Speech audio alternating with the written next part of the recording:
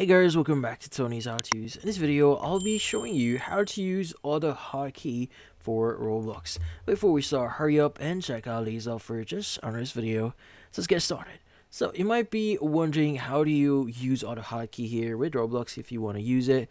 Well, this one is actually pretty easy. So first things first is you want to install or get AutoHotkey here.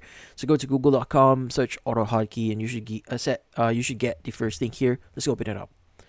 Now, in here, what we need to do is you want to go ahead and download the installer. So let's just wait for this to verify us and just go and click on the download button.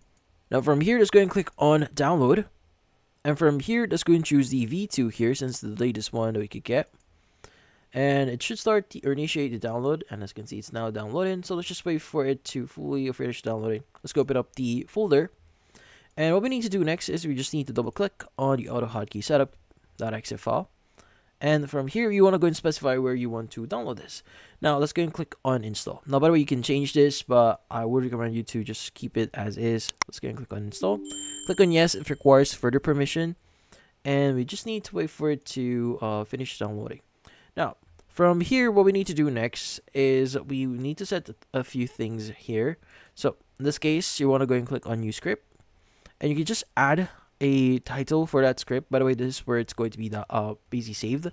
So let's just say this is going to be a test script. Obviously, you could use whatever name you want. Let's go and create. And from here, it's going to open up that specific script here. Now, what you need to do is you want to right click on it. And you want to go and click on open with. And by the way, if you don't see the one I'm going to show you, just use choose another app.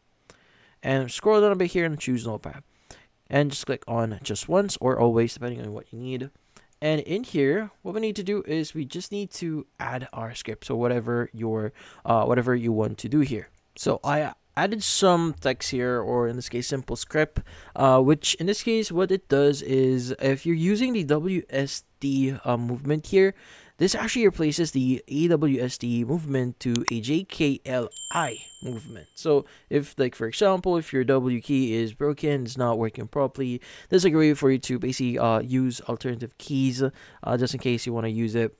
But yeah, so once you're done, you just need to make sure that you save this. Let's go and save this one. Close it.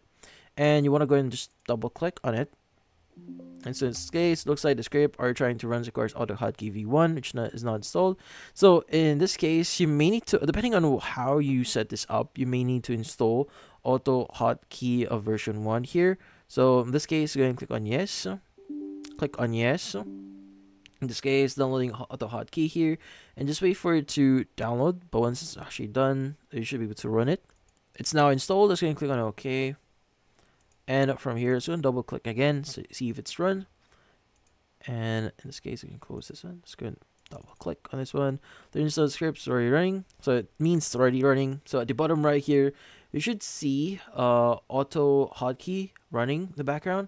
So in this case, it's now active, so you could just open a Roblox here and start using it. But yeah, so in this case, uh, that's about it. So if you found this video helpful, hit the like and subscribe button and watch our next video.